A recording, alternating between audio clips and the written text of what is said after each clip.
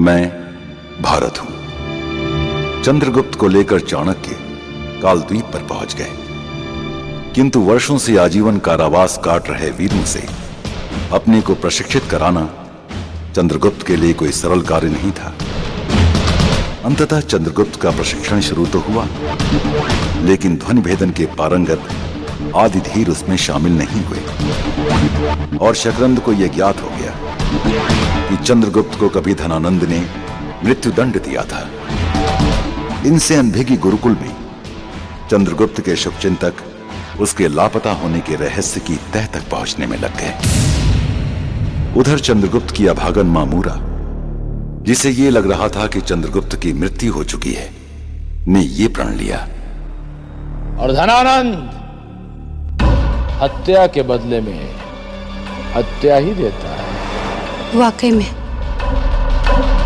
बड़ा उच्च विचार दिया है महाराज आपने। हत्या के बदले हत्या। आज ये छत्राणी मूरा अपने मृतक बालक के लिए वचन लेती है कि जब तक उसकी निर्मम हत्या का बदला न ले लूँ, मैं चैन से नहीं बैठूँगी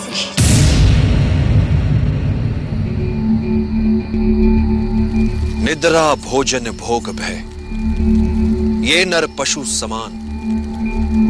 ज्ञान अधिक इक नरन में, ज्ञान बिना पशु जान।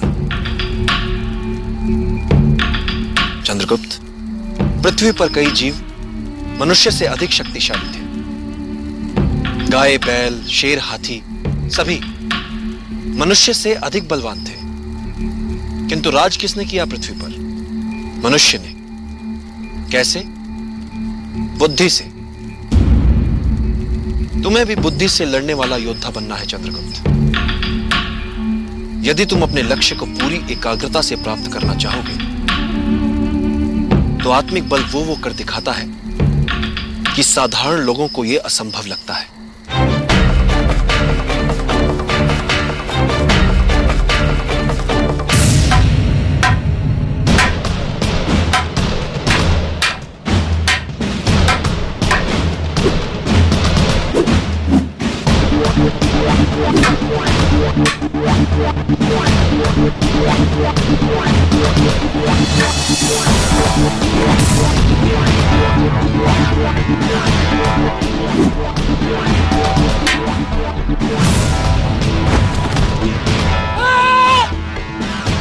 ऐसे ही तुम्हारे मन में झिझक आई।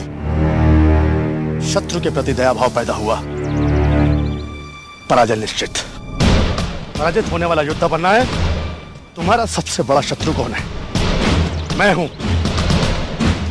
खुलकर करो वार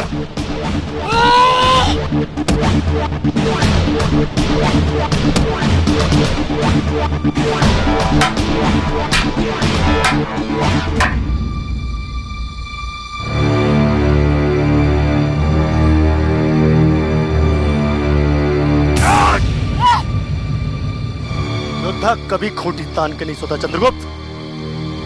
उसे गहरी नींद उसी समय आती है। जब मौत उसे सुलाती है।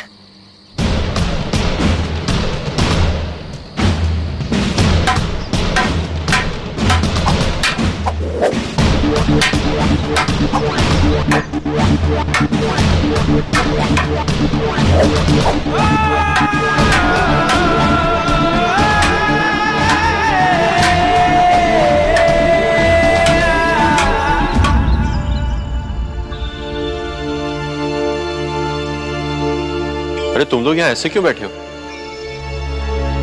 सब ठीक तो है ना? नहीं पुरुष तक कुछ ठीक नहीं है। चंद्रगुप्त का अब तक कुछ पता नहीं चला। और जिसे पता था उस दिन चंद्रगुप्त के साथ क्या हुआ? वो भी चला गया। मैं कुछ समझा नहीं। किसकी बात कर रहे हो तुम? कौन चला गया? अक्षय। और कौन? हमने उसे बस तैयार कर ही लिया था। प्रधानाचार्य के सामने सब कुछ सत्य बताने के लिए। लेकिन लेकिन अंबिक और उसके दुष्ट साथियों ने अक्षय को स्वस्थ घोषित करके उसे उसे अवकाश पर भेज दिया। अच्छा?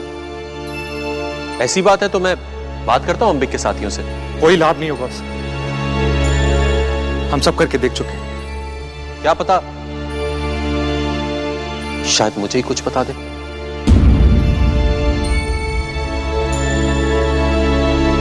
यदि तुम एकाग्रचित हो सको, अपने शरीर के साथ साथ अपने मन पर भी अधिकार कर लो।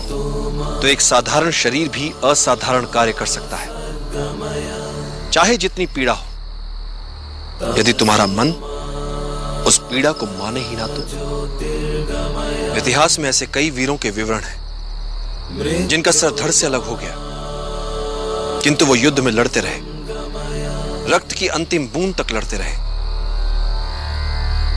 उन योद्धाओं को गौरवान्वित करो। बता दो उन्हें कि अब तुमने संभाला है उनका उत्तरदायित्व।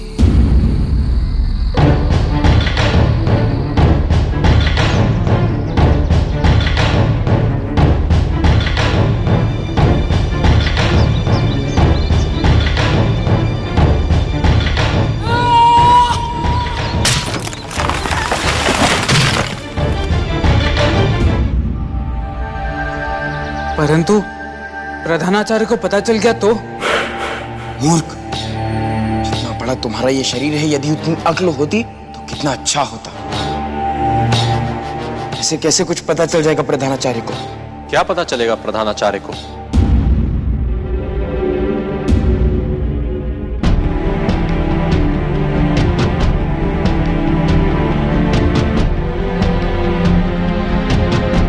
कुछ नहीं। कुछ भी तो नहीं।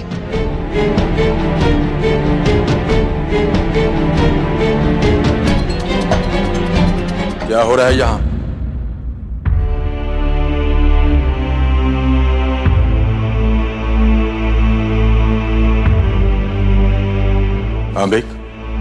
तुम सब जाकर युद्ध क्रिया का अभ्यास करो। वीर यात्रा के लिए कुछ ही दिन शेष है। जाओ। जी आचार्य।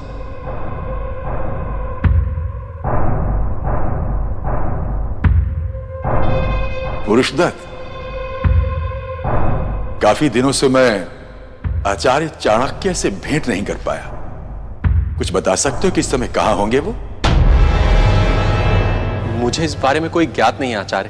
ओ फिर तो तुम्हें इसका भी अनुमान नहीं होगा कि इस समय चंद्रगुप्त कहाँ है। जी नहीं आचार्य। मैं भी आप सभी की तरह पता कर रहा हूँ। पुरुषदत्त यदि इस समय यही प्रश्न तुमसे आचार्य चाणक्य पूछते तो क्या तब भी तुम्हारा उत्तर यही होता वत्स? यदि आचार्य चाणक्य होते तो शायद मैं कहीं और होता। और कदापि इन प्रश्नों का कोई तात्पर्य नहीं होता आचार्य। एक बात की प्रशंसा किए बिना मैं नहीं रह पाऊँगा। चाणक्य की चाटुकारिता करते करते तुम भी अच्छी तरह से बातें बनाना सीख गए हो।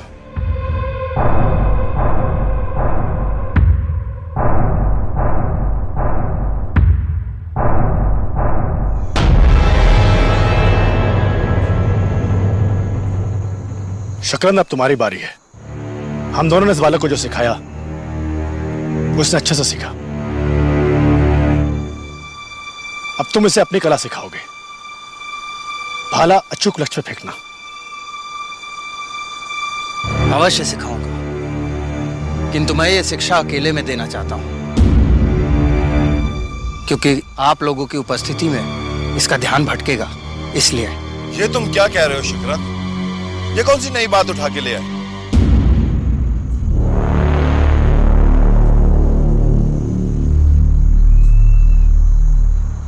हम चले जाते हैं यहाँ से। धन्यवाद आचार्य।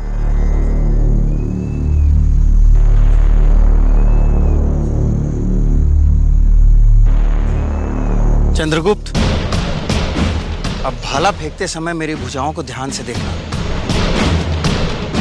देखना भाला कैसे ठीक निशाने पे जाता है।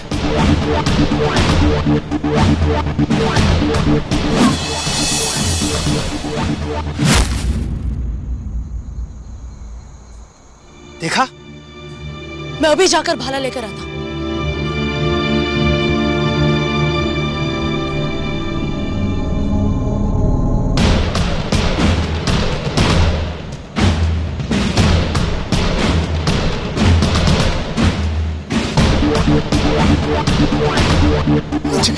बालक। मेरी तुझसे कोई जाति दुश्मनी नहीं, किंतु मैं क्या करूँ? इस द्वीप से मुक्ति का और कोई रास्ता भी तो नहीं है मेरे पास। धनानंद सोचता तेरी मृत्यु हो गई। किंतु सोच, जब मैं तुझे उसे जीवित अवस्था में दूँगा तो पुरस्कार स्वरूप मुझे मेरी ज़िंदगी उपहार में दे देगा।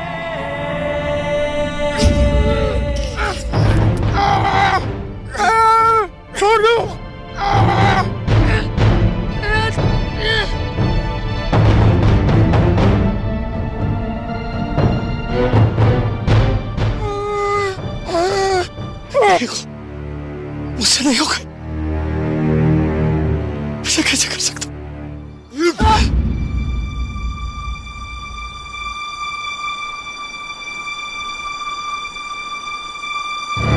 शकरन यह तुमने क्या किया? किसी भी मूल्य में इस टापू से भागकर अपने पुत्र से मिलना चाहता था। पुत्र मोह की चाह में मैं अंधा हो गया था और शायद मेरी बुद्धि ने काम करना बंद कर दिया। इसीलिए शायद आदि धीरा के अनुशासन को भी भूल गया मैं।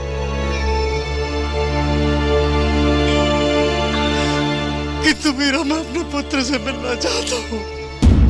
मूर्ख, तूने क्या सोचा? कि धनानंद जैसा क्रूर राजा तुझे इस चंद्रगुप्त के बदले में पुरस्कृत करेगा, क्षमा कर देगा तुझे। अरे कितना मूर्ख है तू। शकरंद तूने मूर्खता की या बेमानी? दंड तो तुझे मिलेगा।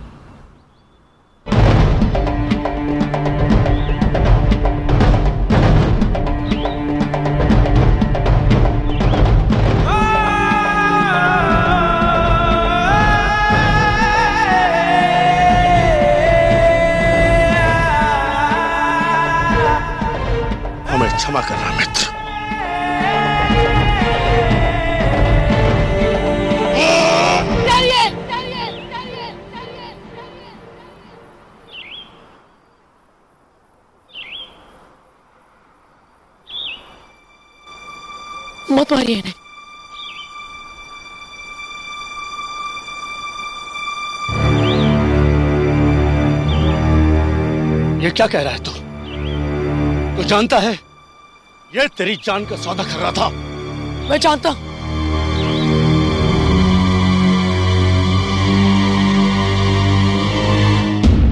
पर आप इन्हें मत मारिए।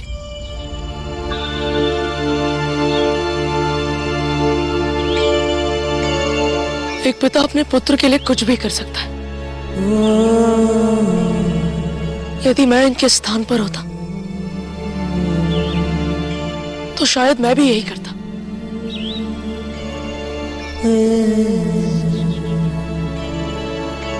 मैं भी तो इतने दूर अपने माँ के लिए ही आया था।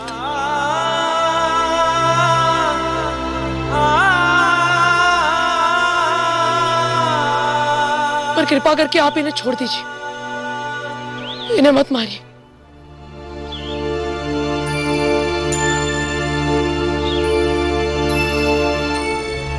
मुझे माफ़ कर देना पुत्र।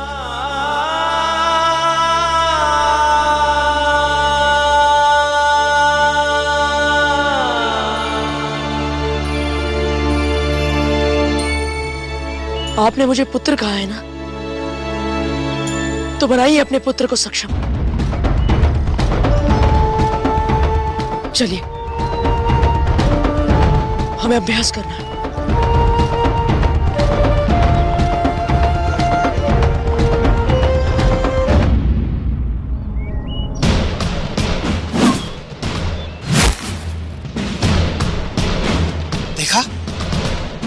सीधा अपने लक्ष्य पे। अब तुम प्रयास करोगे।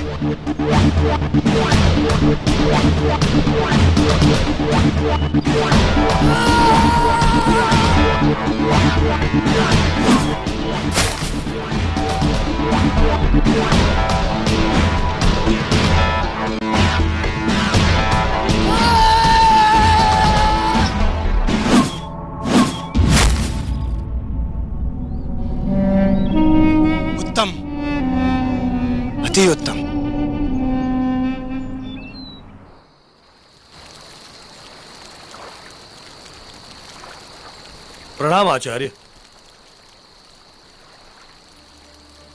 आपकी सेवा में ये जंगली कंदमूल फल ही प्रस्तुत कर सकता हूँ। स्वीकार करें। आप संकोच न करें। यह भोजन तो भाग्यशालियों को मिलता है। यह अमृत है मेरे लिए। धन्यवाद। आप करें ध्यान। मैं तो केवल आपको ये फल ही देने आया था। कहिए।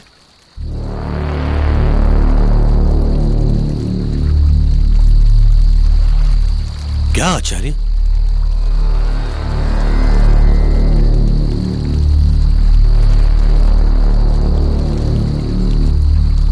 वही जो आप मुझसे कहना चाहते हैं। अब आप इतनी दूर मात्र फल देने नहीं आए हैं मुझे।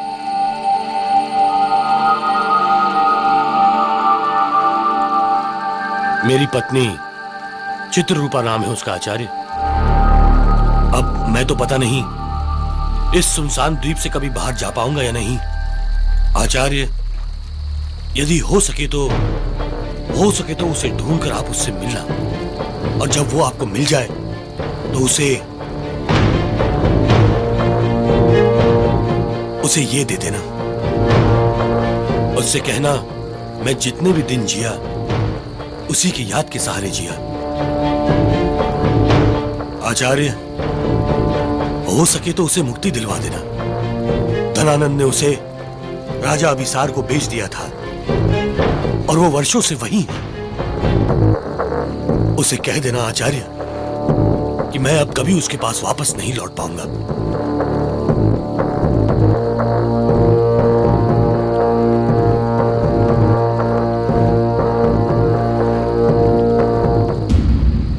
मुझसे जो बन पड़ेगा अवश्य करूँगा। वचन देता हूँ आपको। धन्यवाद आचार्य।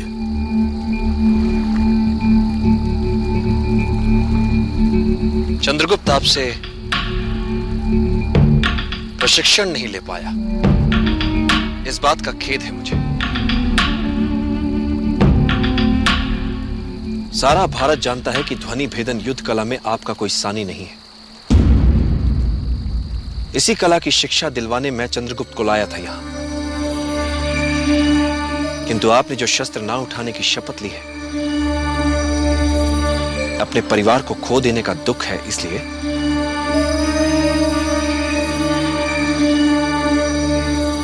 जिन शस्त्रों के लिए मैंने अपना सब कुछ छोड़ दिया था जीवन में, वो शस्त्र, वो ध्वनि भेदन कला, मेरा आत्मसम्मान तक ना बचा पाए।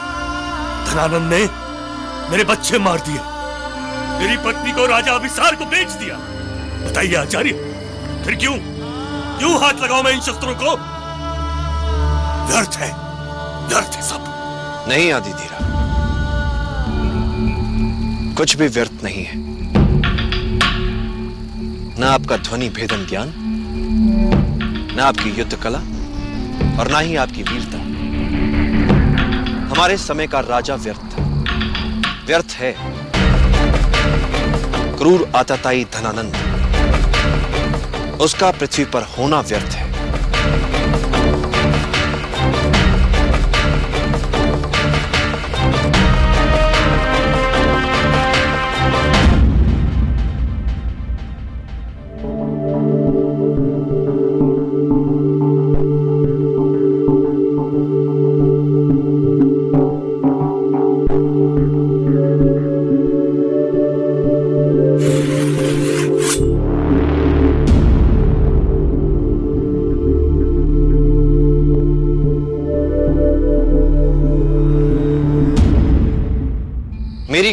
अनुसार, अमात्य राक्षस ने अपने विशेष सैनिक भेज दिए होंगे, जो किसी भी समय यहाँ पहुँचते ही होंगे। हमें यहाँ से तुरंत निकल जाना चाहिए।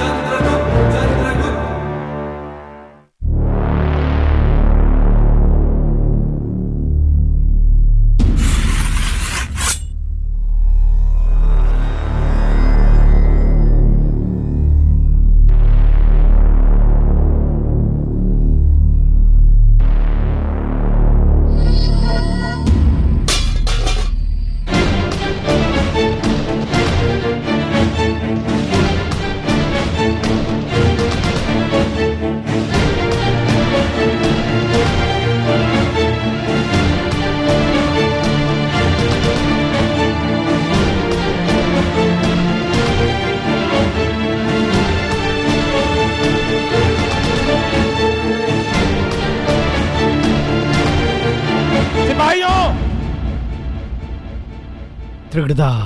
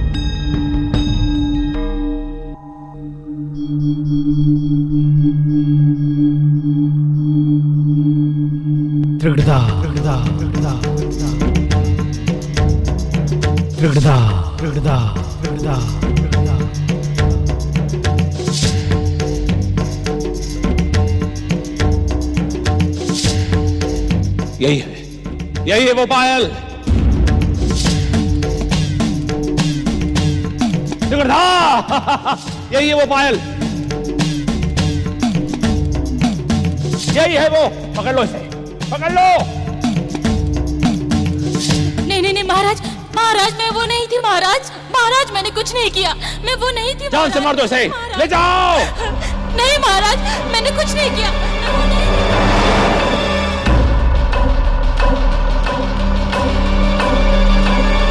त्रिगदा त्रिगदा त्रिगदा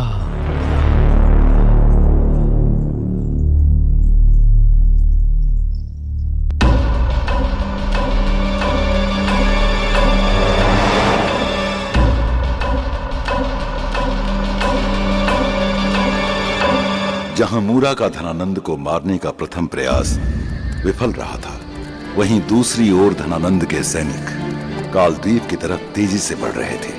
वो कालद्वीप, जहाँ मूरा का बेटा चंद्रगुप्त वीर योद्धाओं से प्रशिक्षण ले रहा था।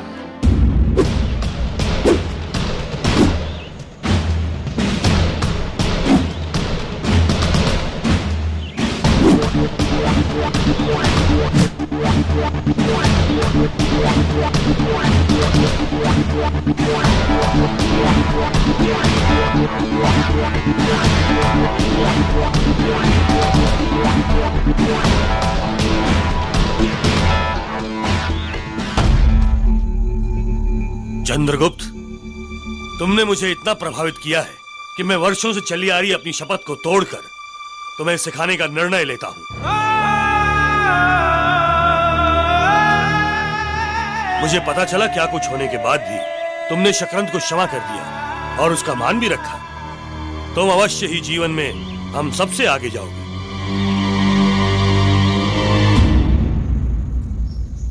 मैं इस बालक को ध्वनि भेदन युद्ध कला अवश्य सिखाऊँगा।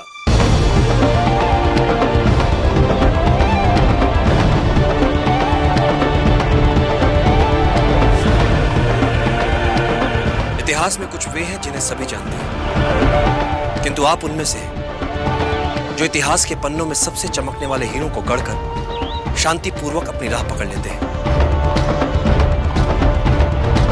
ये ब्राह्मण, सदैव आपका ऋणी रहेगा।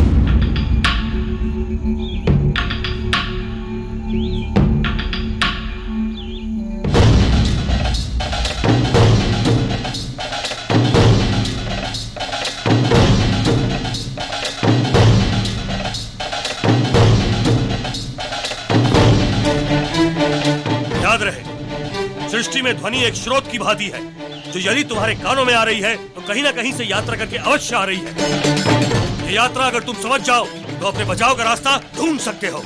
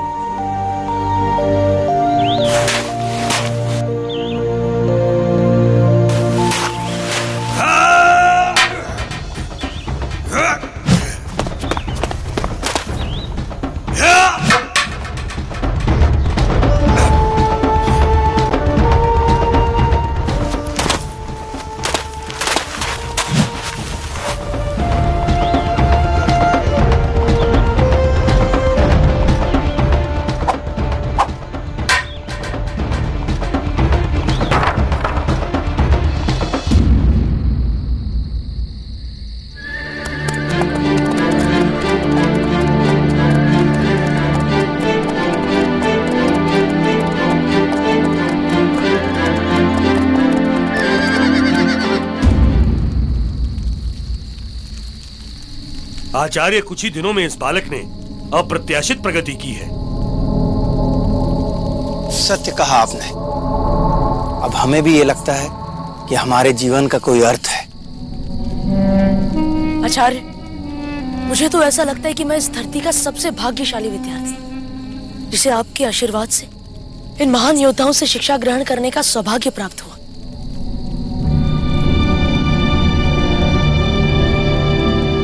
आचार्य क्या सदैव मैं इनसे यहाँ सीखता नहीं रह सकता? ये सब तो इतना कुछ जानते हैं। मुझे तो ऐसा लगता है कि मुझे कुछ भी नहीं आता। मुझे बहुत कुछ सीखना है आचार्य अति सर्वत्र वर्जते।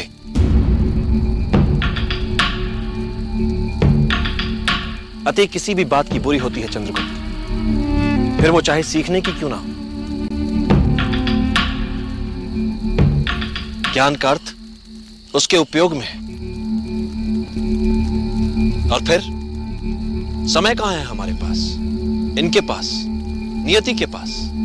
मेरी गणना के अनुसार, अमात्य राक्षस ने अपने विशेष सैनिक भेज दिए होंगे, जो किसी भी समय यहाँ पहुँचते ही होंगे।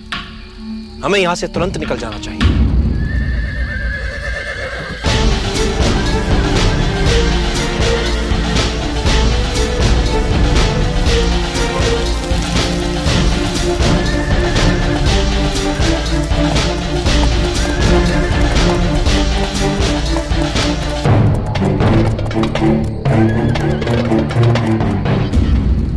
इनसे बहुत कुछ सीखा है। और अब इस संकट की घड़ी में मैं इन्हें छोड़कर भाग जाऊँ? नहीं, आचार्य। मैं कहीं नहीं आऊँगा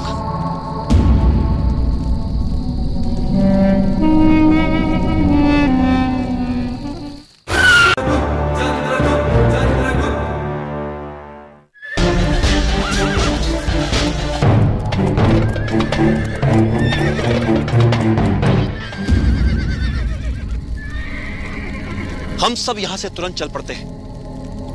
आप सब भी चलिए हमारे साथ। हमारी नाव की दो गश्तों में सभी द्वीप के उस पार हो जाएँगे। आचार्य, आप चंद्रगुप्त को लेकर यहाँ से निकल जाइए। हम सब तो जीवन में मृत्यु से बहुत भाग चुके हैं, परंतु अब समय आ गया है उससे आँख मिलाने का। साथियों वीर गति से पहले धनानंद के सैनिकों को बता दें। कि आज भी हमारी भुजाओं में कितना बल है। चलो शस्त्र उठाओ। मैं इन्हें छोड़कर नहीं जाऊँगा आचार्य। आचार्य आप इसे लेकर यहाँ से चले जाइए। तब तक हम धनानंद के सैनिकों को उलझाए रखते हैं। चलो चंद्रगुप्त। नहीं आचार्य।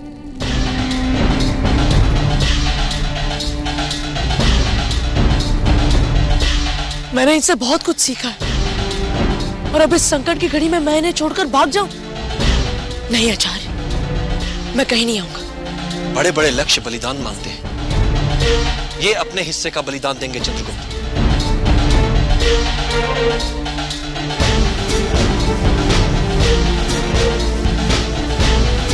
मैंने कहा चलो चंद्रगुप्त। चंद्रगुप्त यदि तुम अपने आचार्य के साथ नहीं गए तो मेरे साथ ही वो ऐसा कुछ नहीं करेंगे। ये आप भी जानते हैं जी। मेरे लिए चले जाओ। धनानंद से उचित बदला लेने के लिए चले जाओ। आचार्य आप बिना कोई क्षण गवाए चंद्रगुप्त को शीघ्र अतिशीघ्र लेकर यहाँ से प्रस्थान कीजिए। धनानंद को उसके पापों का दंड देने के लिए तुम्हें चलना होगा, चंद्रगुप्त। अपनी माँ के लिए तुम्हें चलना होगा, चंद्रगुप्त। ये मेरा आदेश है, चंद्रगुप्त। आचार्य!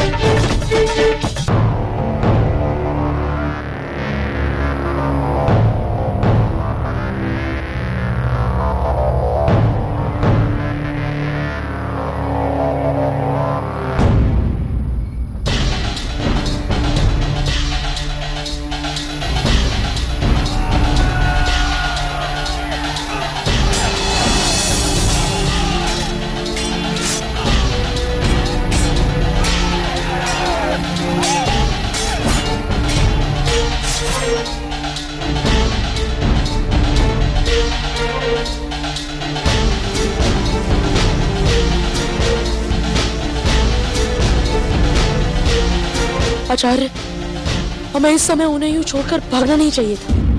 युद्ध में हम सबकी भूमिका तय होती है। और हम सबको अपनी अपनी भूमिका निभानी होती है। ना अधिक, न कम। मैं अपनी भूमिका निभा रहा हूँ, तुम अपनी। और वे सब अपनी अपनी रोकर उन सर्वश्रेष्ठ वीरों के बलिदान का अपमान मत करो, चंद्रगुप्त। नियति तुम्हें भी बहुत कुछ कर दिखाने का अवसर अवश्य देगी। धनानंद के अत्याचारों का अंत उसके अंत से ही संभव है।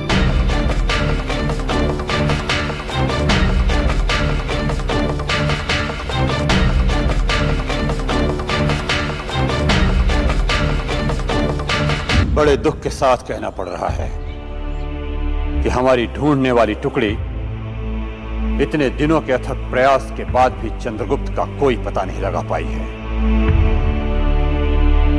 मेरे पूछने पर उन्होंने बताया कि गुरुकुल के आसपास के समूचे वन प्रांत में उन्होंने चप्पा चप्पा छान डाला, परंतु चंद्रगुप्त कहीं नहीं मिला। बड़े आश्चर्य की बात है कि जिस बालक की वीरता और साहस से प्रभावित होकर के मैंने उसे पुरस्कार के रूप में गुरुकुल में पढ़ने का अवसर दिया था। वही छात्र, आचार्य सुखदेव की कक्षा में ध्वनि भेदन का अभ्यास करते हुए समस्त कक्षा के सामने खाई में गिर पड़ा।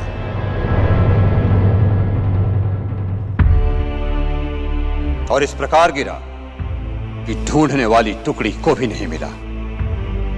तक्षशिला के इतिहास में कभी ऐसी कोई दुर्घटना नहीं घटी। मुझे तो कुछ समझ में नहीं आ रहा है। समझ में नहीं आ रहा है कि अचानक घटी हुई कोई दुर्घटना है, या कि सोचा समझा षड्यंत्र।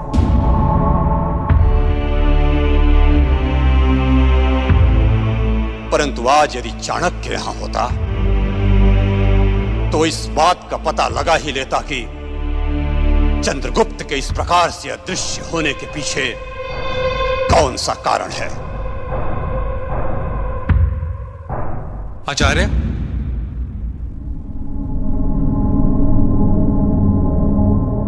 अक्षय जानता है सच्चाई। वही अंतिम समय चंद्रगुप्त के सबसे करीब था।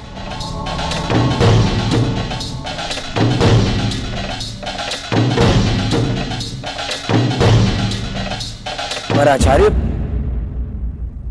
वो तो रोगी प्रार्थना पत्र देकर घर जा चुका है। मैं वापस आ गया हूँ आचार्य। मैं वापस आ गया हूँ आचार्य।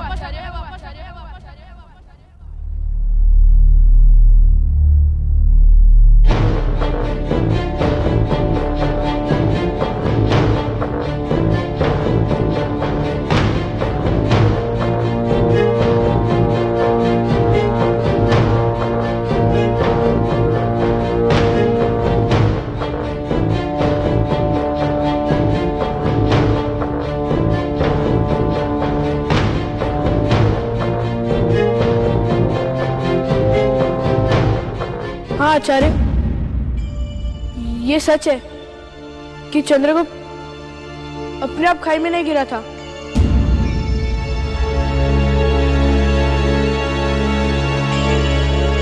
उसे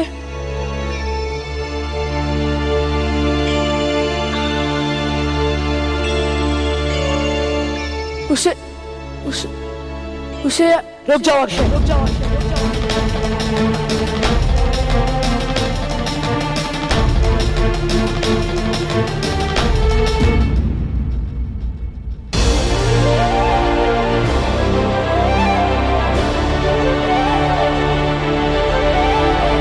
चोटी से अपने आप नहीं गया।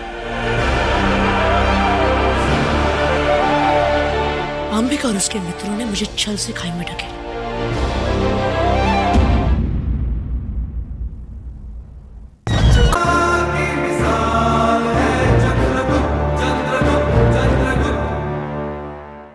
उसे उसे उसे रुक जाओ अक्षय रुक जाओ अक्षय। रुक जाओ अक्षय रुक जाओ अक्षय रुक जाओ अक्षय रुक जाओ अक्षय।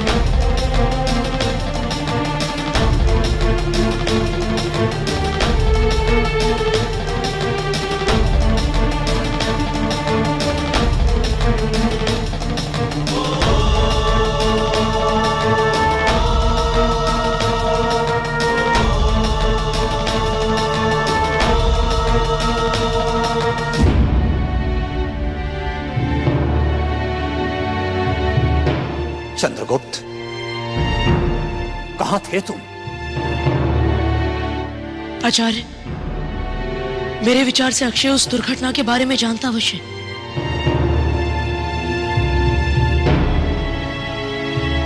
परंतु जो मेरे साथ हुआ, उसके सदमे के कारण कदाचित उसे ये लगा होगा कि मैं चोटी से अपने आप नहीं गिरा आम्बिक और उसके मित्रों ने मुझे छल से खाई में ढकेला।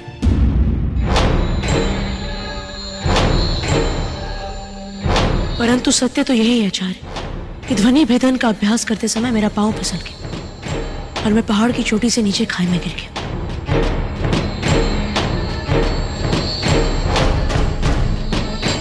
जहाँ एक भले व्यक्ति ने मेरे प्राण बचाए।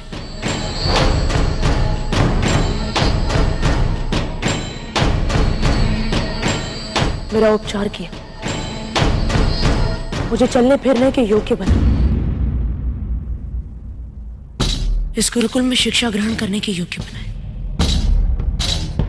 इसमें किसी का कोई दोष नहीं है आचार्य।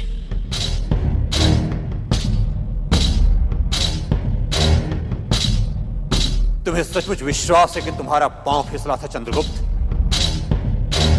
किसी ने षड्यंत्र नहीं किया था तुम्हारे साथ? जी आचार्य। मैं अभी भी यही कहूँगा। इस दुर्घटना में किसी का कोई दोष नहीं।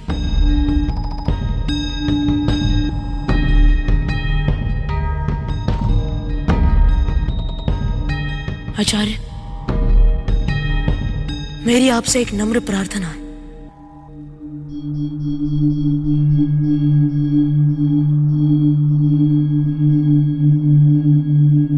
मैं वीर यात्रा वाले अभियान का नेतृत्व करना चाहता हूँ।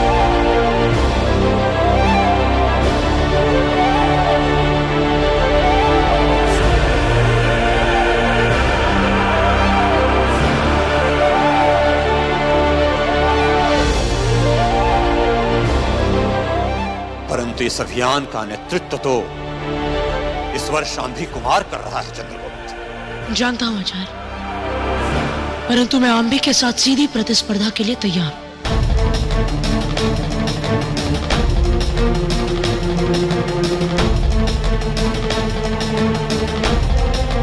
जो जीता, वही सर्वश्रेष्ठ माना जाए।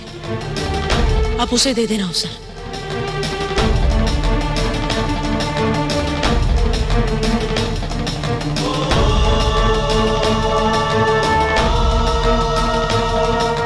ऐसा ही होगा।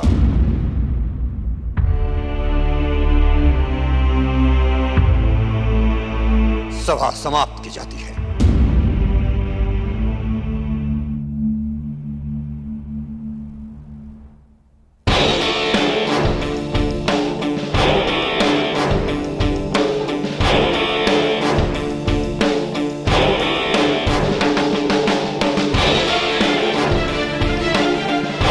अम्बिक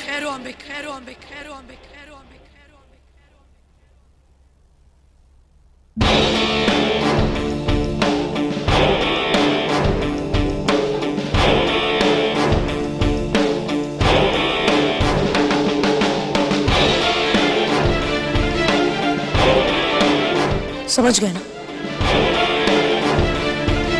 मैंने तुम्हें बचाकर तुम पर कोई उपकार नहीं किया। मैं तो बस तुम्हें तुम्हारे ही उपाय से सबके सामने पराजित करना चाहता था। और मैं तुम्हें पराजित करूँगा, अंबिक। अब यही मेरा उत्तर होगा। तो हो जाओ तैयार। प्रतिस्पर्धा के